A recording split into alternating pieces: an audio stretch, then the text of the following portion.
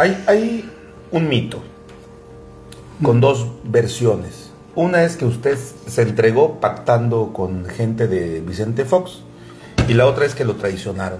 ¿Cuál es la realidad, don Mario? La traición. Lo traicionaron. ver, las dos cosas.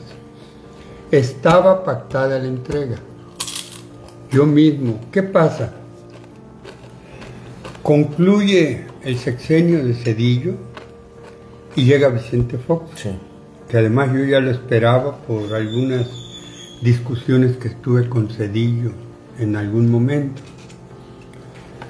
Y yo me alegro.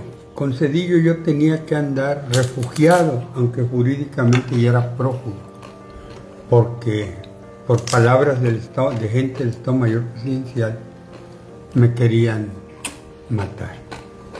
Llega Vicente Fox y digo, me va a ir bien, es de otro partido.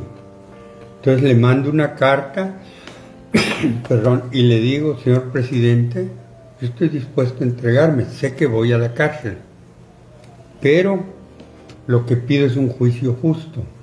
Juicio justo bajo la base de que la Procuraduría de, no se meta, no interfiera inventando más cosas, que respete el sentido de la ley.